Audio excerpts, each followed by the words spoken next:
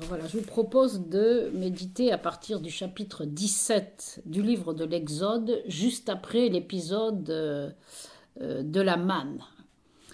Il est dit que toute la communauté des Israélites partit du désert de Tsin pour les étapes suivantes sur l'ordre du Seigneur et ils campèrent à Réphidim où il n'y avait pas d'eau à boire pour le peuple. Donc ça, il s'agit du premier verset et euh, le texte se situe dans un lieu qui s'appelle Réphidim.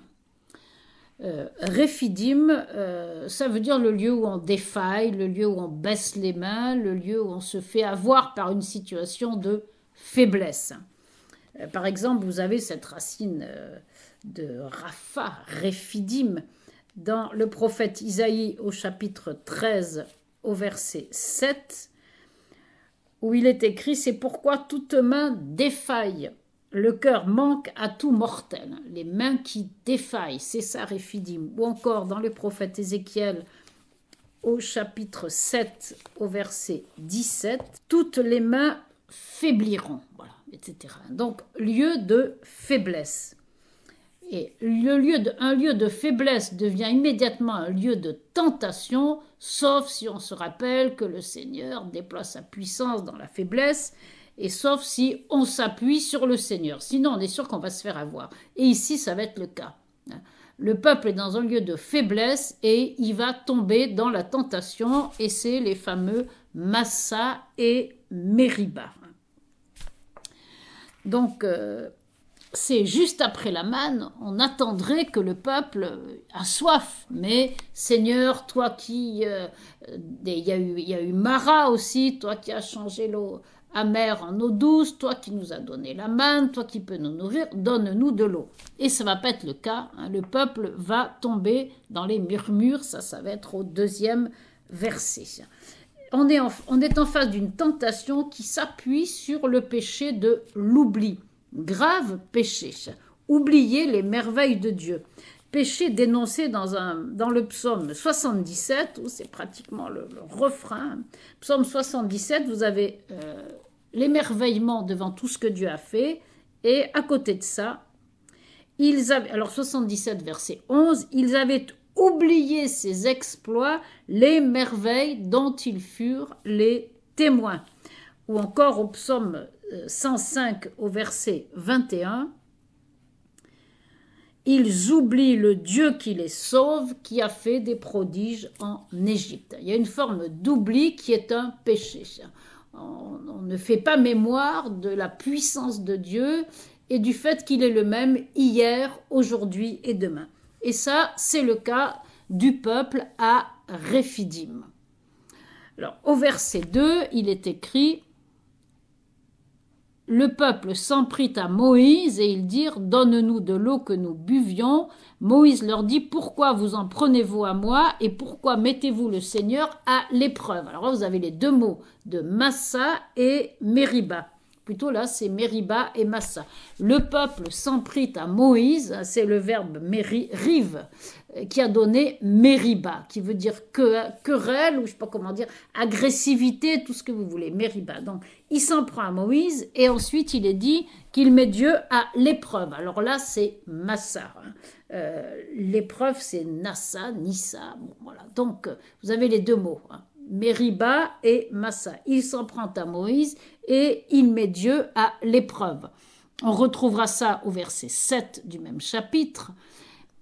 Moïse donna à ce lieu le nom de Massa et Mériba parce que les Israélites cherchèrent querelle et qu'ils mirent le Seigneur à l'épreuve en disant Le Seigneur est-il au milieu de nous oui ou non?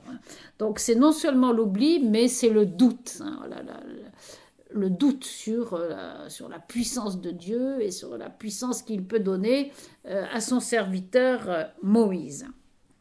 Mettre Dieu à l'épreuve, c'est une tentation de tous les temps. Hein. Et la plus belle réponse a été donnée par une femme dans une superbe homélie hein, qu'elle fait aux anciens du peuple. Alors c'est dans le livre de Judith le peuple est complètement affolé, ils, n'ont plus rien, l'ennemi s'apprête à prendre la ville et euh, euh, voilà ce qu'il décide.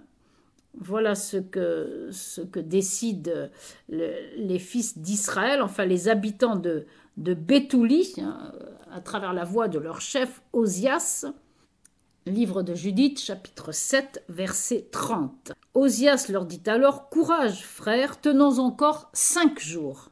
D'ici là, le Seigneur notre Dieu fera revenir sur nous sa miséricorde, il ne nous abandonnera pas jusqu'au bout. Mais si ces jours s'écoulent sans qu'il nous vienne au secours, à notre secours, alors j'agirai selon, vos paroles. C'est-à-dire, on met Dieu à l'épreuve. Si tu, tu nous as pas exaucé d'ici cinq jours, on se soucie plus de toi et on fait ce qu'on a décidé de faire. Alors Judith euh, prend la parole et d'une manière très très ferme, euh, voilà ce qu'elle dit. C'est vraiment des choses à méditer quand on prie, quand on supplie Seigneur, quand on l'oublie, etc. Dans toutes les tentations qu'il peut y avoir autour de la, de la prière et de la foi en Dieu. Voilà ce que dit Judith. Écoutez-moi, chef des habitants de Béthouli, etc. Je passe au verset 12. Qui êtes-vous donc pour mettre en ce jour Dieu à l'épreuve et pour vous dresser au-dessus de lui parmi les fils des hommes? En réalité, vous qui scrutez les intentions du Seigneur souverain de l'univers, vous n'y comprendrez jamais rien.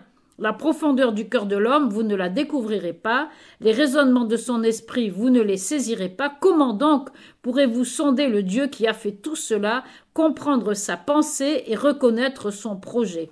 Non, frère, n'irritez pas le Seigneur notre Dieu, car même s'il n'a pas l'intention de nous porter secours dans les cinq jours, il a le pouvoir, lui, de nous protéger au jour qu'il voudra, comme de nous exterminer devant nos ennemis. Vous donc n'exigez pas de gages au sujet des volontés du Seigneur notre Dieu, car il n'est pas comme un homme, Dieu, pour qu'on lui adresse des menaces. Il n'est pas comme un fils d'homme pour qu'on le soumette à l'arbitrage. C'est pourquoi, en attendant avec patience le salut qui vient de lui, invoquons-le à notre secours, il écoutera notre voix si cela lui plaît. Ça, c'est le livre de Judith, c'est là. C'est Judith qui euh, exhorte à ne pas tenter le Seigneur, à ne pas mettre le Seigneur à l'épreuve. Alors, je continue toujours avec euh, ce verset. Je, non, je passe plutôt au verset 3. Le peuple y souffrit de la soif et le peuple murmura contre Moïse. Alors la soif, c'est très, très présent. Le peuple a toujours soif. Mais malheureusement, ce n'est pas la vraie soif. Parce que quand on a la vraie soif, qui est celle de Dieu, on est désaltéré. Euh, avoir soif ici, c'est vraiment, c'est, un peu signe de l'absence de Dieu. Hein. Euh, comme il est dit par exemple dans les psaumes qu'on, récite souvent, psaume 62, euh, verset 2 Dieu, tu es mon Dieu, je te cherche dès l'aube, mon âme a soif de toi. Après toi languit ma chair, terre aride, altérée, sans eau. Et la réponse, c'est le chapitre 55 euh, du prophète Isaïe, où il est dit Vous tous qui avez soif, venez, voici de l'eau, même si vous n'avez pas d'argent, venez acheter, consommer, venez acheter du vin et du lait sans argent, sans rien payer.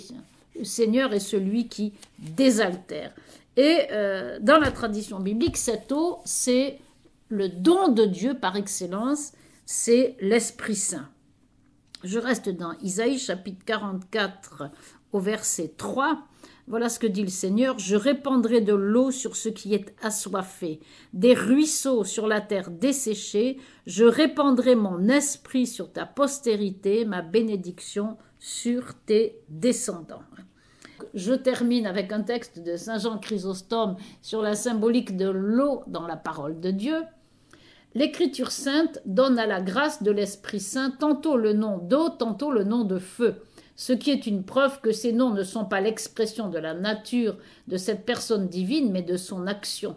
Le feu est l'emblème de l'efficacité et de la ferveur de la grâce pour effacer et détruire le péché, et l'eau est la figure de l'action purifiante de l'Esprit Saint et le rafraîchissement divin qu'il donne aux âmes qui le reçoivent.